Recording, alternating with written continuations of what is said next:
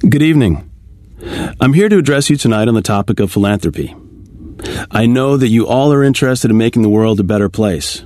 You have a little extra money, and you'd like to help some of the millions of people around the world who are struggling to survive. But first, you have decisions to make. Who do you give to? And how do you give to them?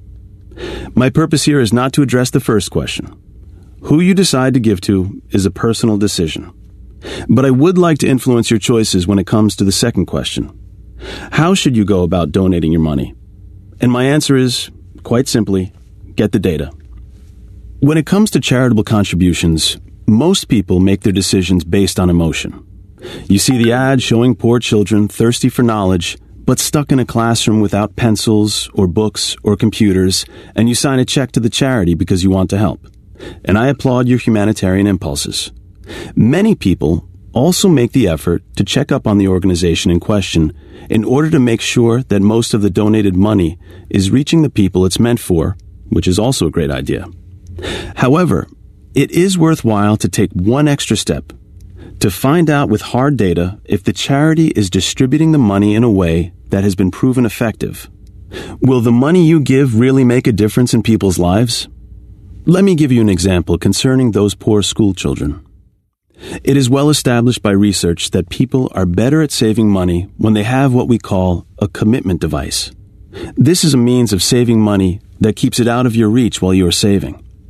For example, a retirement account is a commitment device. You put your money into it, and you can't withdraw it until you retire. With this in mind, several educational organizations worked together to see if a commitment device could help poor school children in Uganda save money for school supplies.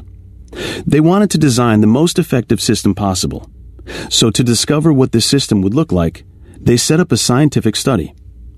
In one group of schools, they set up a hard commitment device. This means that the kids could put money in a lockbox every week, and at the end of the period of time in which they saved, their money was returned to them in the form of a voucher that could only be spent on school supplies. For the second group of schools, the children were presented with a soft commitment device. In this case, they also put money in a lockbox every week, but at the end of the period, the money was returned to them in cash. They could spend the cash however they wanted. And of course, since this was a scientific study, the third group of schools was a control group. They were not provided with any commitment device. They proceeded as normal, and their saving and spending was recorded. So, which group was most successful? If we were going to guess, most people would say that the hard commitment device would work the best. That's what the researchers expected too. It seems obvious that the most effective strategy would be the voucher that can only be spent on school supplies. But that's not what the data revealed. The kids who received a voucher did better than the control group who had no commitment device at all. But it turns out that the soft commitment device worked the best.